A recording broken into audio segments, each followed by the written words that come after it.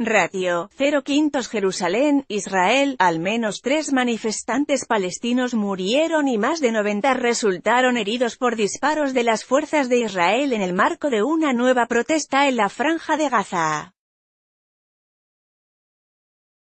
El Ministerio de Salud de Gaza confirmó que el ejército israelí mató la víspera a tiros a tres palestinos, entre ellos dos adolescentes, en las protestas que tuvieron lugar a lo largo de la frontera entre Israel y Gaza, reportó el diario Haaretz.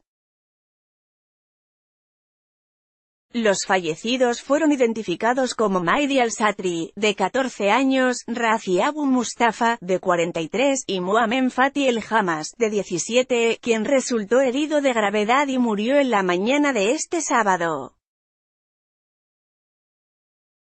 Según el Ministerio de Salud, en las manifestaciones del viernes resultaron heridos 264 palestinos, 90 de ellos por disparos de soldados israelíes. 11 de los heridos se encuentran en estado grave.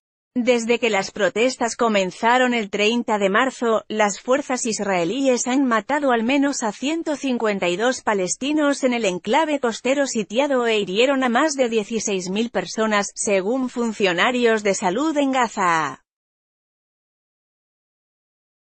El ejército israelí señaló que atacó un puesto de observación del movimiento palestino islamista Hamas en el norte de Gaza en respuesta a disparos de francotiradores contra las fuerzas israelíes. Según un portavoz militar, unos 7.000 palestinos participaron en las protestas del viernes a lo largo de la frontera, en las que se produjeron varios disturbios violentos. Los manifestantes lanzaron piedras y quemaron neumáticos.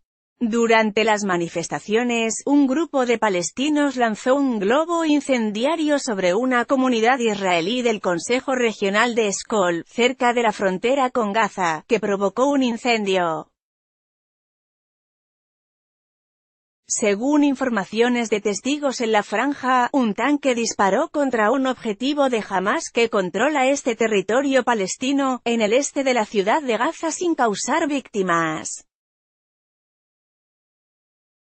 El ejército israelí informó de que llevó a cabo un ataque aéreo al este de esa localidad contra un grupo de palestinos que lanzaron globos incendiarios.